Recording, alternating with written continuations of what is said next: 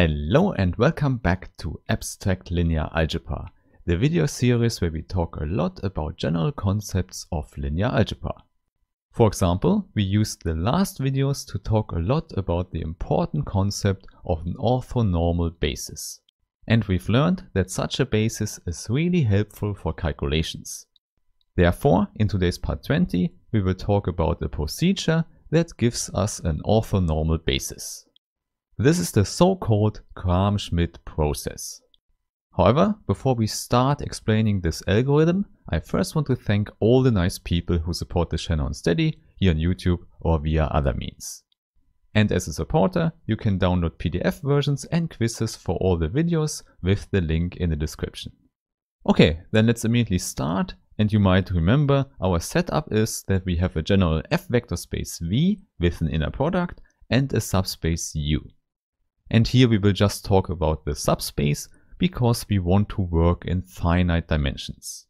Simply because we want to talk about a basis with finitely many elements. In particular, if we have a k-dimensional subspace, we only need k vectors. And now the idea for today is that we take this general algebraic basis given by the vectors u1, u2 to uk and transform it to a basis that respects our geometry given by the inner product. More precisely, what we want to get is a so-called ONB, an orthonormal basis of U. And there we will denote the elements with B1, B2 and so on. And here please recall, ONB means if we take the basis elements and put them into the inner product, then we get out 1 or 0, or in short, just the Kronecker delta. And such an ONB is quite nice to have, for example for calculating orthogonal projections. And now this procedure, going from a basis to an ONB, is called the Gram-Schmidt process or Gram-Schmidt algorithm. Moreover, you could also say what we do here is just an orthonormalization of a basis.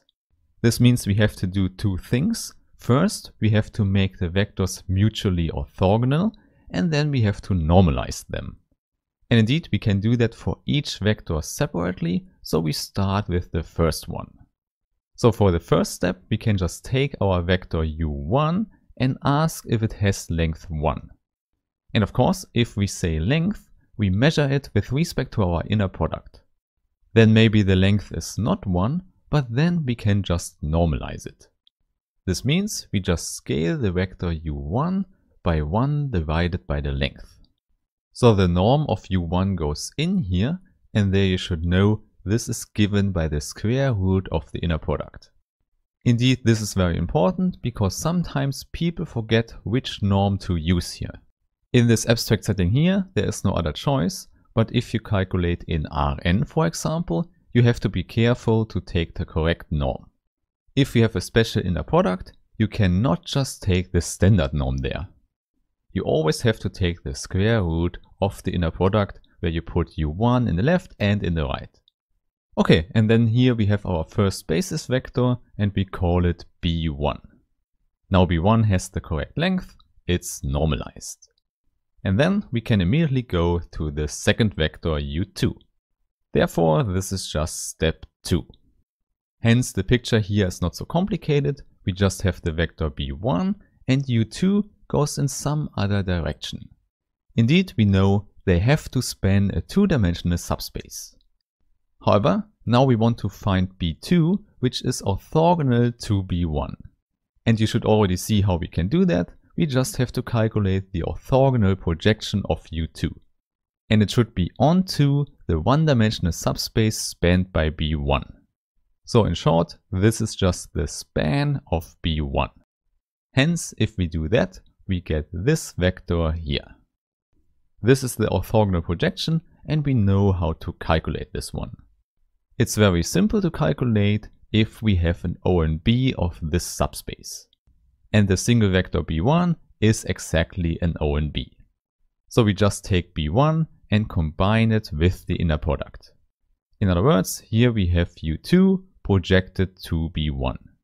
And there we have it. This is the whole orthogonal projection given as this vector there. However, we don't want this component of u2, we want the one that is orthogonal to the subspace. So actually, we want to have the normal component of the orthogonal projection. And this is really simple because it's just u2 minus the orthogonal projection. Hence, our vector b2 we want to have is given by this difference here. Indeed, it's orthogonal to b1 by definition. However, let's first call it b2 tilde because it's not normalized yet. Indeed, there is no reason here that the normal component has length 1. Therefore, we just have to normalize it in the same way as before, which means we just scale by 1 divided by the norm. So there we have it, this is now our vector b2. And by construction, it's orthogonal to b1. In other words, now we already have an ONB of this two-dimensional subspace. And with that knowledge, we can just continue with the third vector. So in the third step, we just have to consider U3 now. And there we can use that B1 and B2 already span a two-dimensional subspace. So in some sense it's similar to before, here we just have the span of two vectors. And we know that U3 does not lie in this plane because originally we had a basis. And there you see, similarly to before, we can just calculate the orthogonal projection again. And then again, we will just take the normal component. Therefore, the only question is, how do we calculate the orthogonal projection in this case?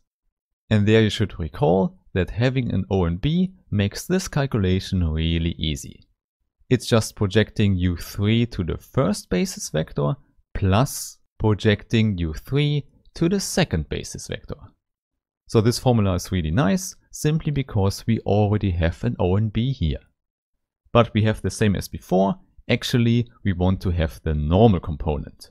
So our B3 tilde is U3 minus the orthogonal projection. So no problem at all, and then the last step is the normalization again. So also here, in the end, we get our new basis vector B3.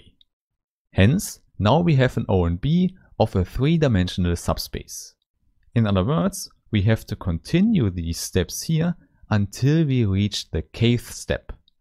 Indeed, as you can see, all the steps look very similar, so it's sufficient to write down the last one.